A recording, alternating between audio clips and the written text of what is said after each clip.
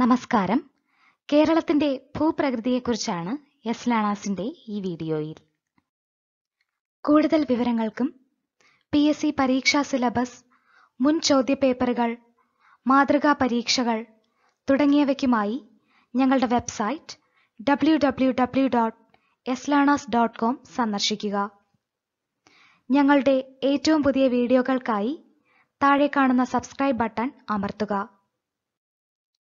ഭൂപ്രകൃതി അനുസരിച്ച് കേരളത്തെ മലനാട് ഇടനാട് തീരപ്രദേശം എന്നിങ്ങനെ മൂന്നായി തരംതിരിച്ചിരിക്കുന്നു. കേരളത്തിന്റെ കിഴക്ക് ഭാഗത്താണ് മലനാട് സ്ഥിതി ചെയ്യുന്നത്. കേരളത്തിന്റെ ആകെ ഭൂവിസ്തൃതിയുടെ നാൽപ്പത്തിയെട്ട് ശതമാനം മലനാടാണ്. കേരളത്തിന്റെ മലനാട് പ്രദേശത്ത് കൃഷി ചെയ്യുന്ന പ്രധാന കാർഷിക വിളകൾ തേയില കാപ്പി ഏലക്ക എന്നിവയാണ്. മലനാടിലെ ഏറ്റവും ഉയരം കൂടിയ പ്രദേശമാണ് പശ്ചിമഘട്ടം. രണ്ടായിരത്തി പന്ത്രണ്ടിൽ പശ്ചിമഘട്ടത്തെ ലോക പൈതൃക കേന്ദ്രമായി യുനെസ്കോ തിരഞ്ഞെടുത്തു. പശ്ചിമഘട്ടത്തിലെ പരിസ്ഥിതി ആഘാതത്തെപ്പറ്റി പഠനം നടത്തിയ കമ്മിറ്റിയാണ് മാധവ് ഗാഡ്ഗിൽ കമ്മിറ്റി. മാധവ് ഗാഡ്ഗിൽ കമ്മിറ്റി റിപ്പോർട്ടിനെ കുറിച്ച് പഠനം നടത്തിയത് കെ കസ്തൂരി രംഗൻ പാനൽ.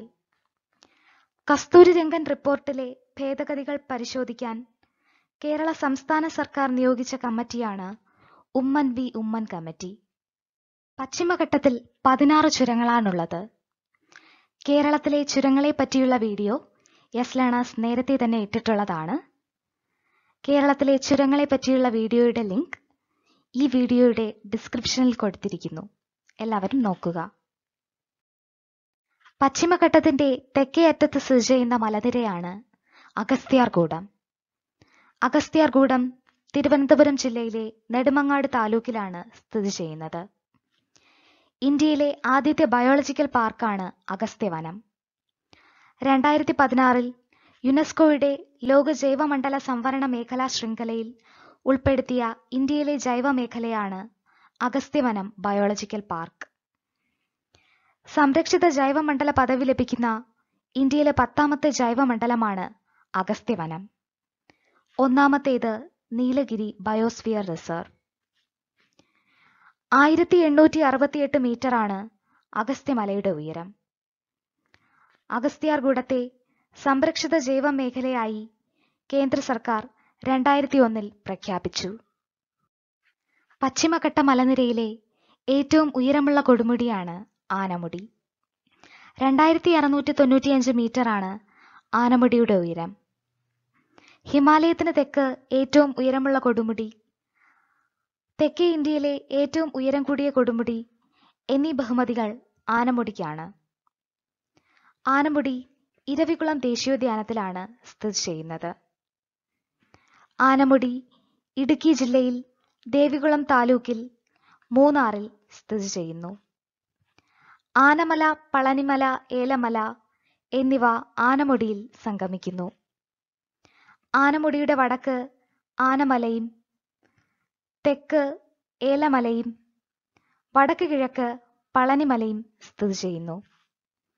ആനമലയുടെ വടക്ക് ഭാഗത്ത് സ്ഥിതി ചെയ്യുന്ന പ്രധാന സുഖവാസ കേന്ദ്രമാണ് നീലഗിരി. കേരളത്തിലെ രണ്ടാമത്തെ ഉയരം കൂടിയ കൊടുമുടിയാണ് ഇടുക്കി ജില്ലയിലെ മീശപ്പുലിമല. രണ്ടായിരത്തി അറുന്നൂറ്റി നാൽപ്പത് മീറ്ററാണ് മീശപ്പുലിമലയുടെ ഉയരം.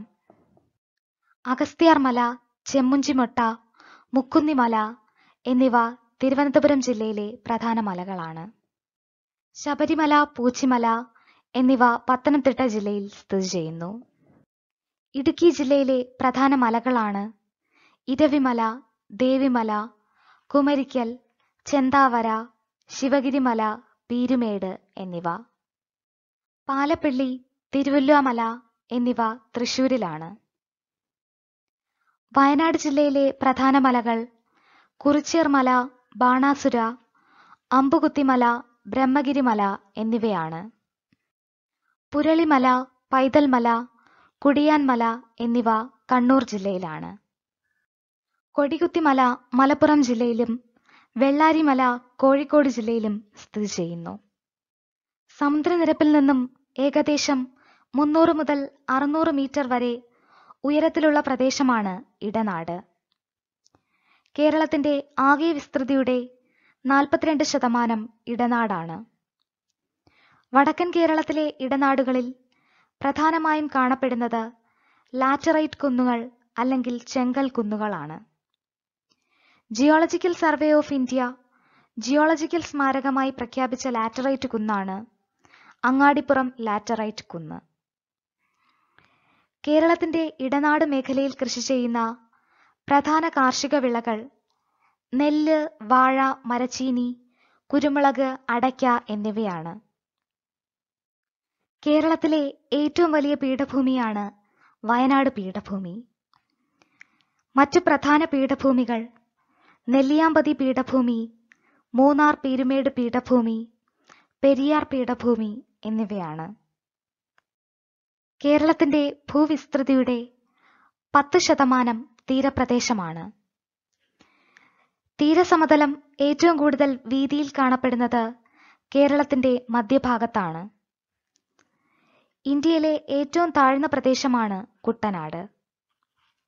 കുട്ടനാടിന്റെ ഭൂരിഭാഗം പ്രദേശവും സമുദ്രനിരപ്പിൽ നിന്നും പൂജ്യം ദശാംശം അഞ്ച് മീറ്റർ മുതൽ ഒന്ന് ദശാംശം അഞ്ച് മീറ്റർ വരെ താഴെയാണ്. കേരളത്തിലെ ഏറ്റവും നീളം കൂടിയ ബീച്ച് കണ്ണൂരിലെ മുഴുപ്പിലങ്ങാടി ബീച്ചാണ് പ്രമുഖ മത്സ്യബന്ധന കേന്ദ്രമായ നീണ്ടകര സ്ഥിതി ചെയ്യുന്നത് കൊല്ലം ജില്ലയിലാണ്. തീരപ്രദേശത്തെ പ്രധാന കാർഷിക വിളകൾ തെങ്ങ് നെല്ല് എന്നിവയാണ്. അറബിക്കടലിൽ മാത്രം കാണുന്ന ഒരു പ്രത്യേക പ്രതിഭാസമാണ് ചാകര. ചാകരയ്ക്ക് പ്രസിദ്ധമായ പുറക്കാട് കടപ്പുറം ആലപ്പുഴ ജില്ലയിലാണ് സ്ഥിതി ചെയ്യുന്നത്. ഏറ്റവും കൂടുതൽ കടൽ തീരമുള്ള കേരളത്തിലെ ജില്ലയാണ് കണ്ണൂർ. ഏറ്റവും കുറവ് കടൽ തീരമുള്ള കേരളത്തിലെ ജില്ല കൊല്ലം. ഏറ്റവും കൂടുതൽ കടൽ തീരമുള്ള താലൂക്ക് ചേർത്തല. കേരളത്തിൽ കടൽ തീരമില്ലാത്ത ഏക കോർപ്പറേഷനാണ് തൃശൂർ കോർപ്പറേഷൻ. സമുദ്രനിരപ്പിൽ നിന്നും താഴെ സ്ഥിതി ചെയ്യുന്ന വയൽ പ്രദേശമാണ് കോൾനിലം. കേരളത്തിൽ കോൾനിലങ്ങൾ കാണപ്പെടുന്നത് ആലപ്പുഴ തൃശൂർ മലപ്പുറം എറണാകുളം എന്നീ ജില്ലകളിലാണ്. തൃശൂർ മലപ്പുറം ജില്ലയിലെ കോൾപ്പാടങ്ങളിൽ പൊക്കാളി കൃഷി വ്യാപകമായി കൃഷി ചെയ്യുന്നുണ്ട്. ഒരാളോളം പൊക്കത്തിൽ വളരുന്ന ലവണ പ്രതിരോധ ശേഷിയുള്ളതും വെള്ളപ്പൊക്കവും വെള്ളക്കെട്ടും അതിജീവിക്കാൻ ശേഷിയുള്ളതുമായ നെല്ലിനമാണ് പൊക്കാളി. റാംസർ പട്ടികയിൽ ഉൾപ്പെട്ട തൃശൂർ ജില്ലയിലും മലപ്പുറം ജില്ലയിലും വ്യാപിച്ചു കിടക്കുന്ന കോൾനിലങ്ങൾ പക്ഷികളുടെ ആവാസ കേന്ദ്രമാണ് പാപനാശം ശംഖുമുഖം കോവളം എന്നിവ തിരുവനന്തപുരം ജില്ലയിലെ പ്രധാന ബീച്ചുകളാണ്. ചെറായി ബീച്ച് മുനമ്പം ബീച്ച് എന്നിവ എറണാകുളം ജില്ലയിലാണ്. തങ്കശ്ശേരി ബീച്ച് കൊല്ലം ജില്ലയിലും ബേക്കൽ ബീച്ച് കാസർഗോഡ് ജില്ലയിലും സ്ഥിതി ചെയ്യുന്നു. മാറാട് കാപ്പാട് ബേപ്പൂർ എന്നീ ബീച്ചുകൾ കോഴിക്കോട് ജില്ലയിലാണ്. കണ്ണൂർ ജില്ലയിലെ പ്രധാന ബീച്ചുകൾ പയ്യാമ്പലം ധർമ്മടം മുഴുപ്പിലങ്ങാടി എന്നിവയാണ്. ഈ വീഡിയോ ഇഷ്ടമായെങ്കിൽ ഷെയർ ചെയ്യുക. മറ്റ് പി എസ് സി പാഠഭാഗങ്ങളുടെ വീഡിയോകൾക്കായി യെസ് ലേണേഴ്സിന്റെ യൂട്യൂബ് ചാനൽ സബ്സ്ക്രൈബ് ചെയ്യുക. Thank you for watching this video